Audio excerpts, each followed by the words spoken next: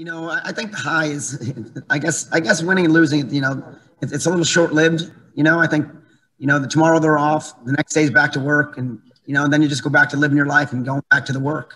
You know, and as for excited, you know, I'm, I'm really not just excited, but proud of the way they, they operated and, and worked all year and and competed this weekend. But I also know that you know, come Tuesday morning, it's back to what we do.